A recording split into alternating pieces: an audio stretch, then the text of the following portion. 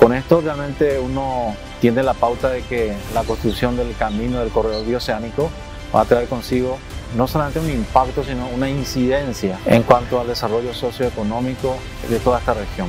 Metro a metro, una nueva historia en Paraguay y en la región. Esta es la obra de infraestructura vial más grande en ejecución en este momento en toda América Latina por su largo y por su dimensión y ni qué decir por su importancia.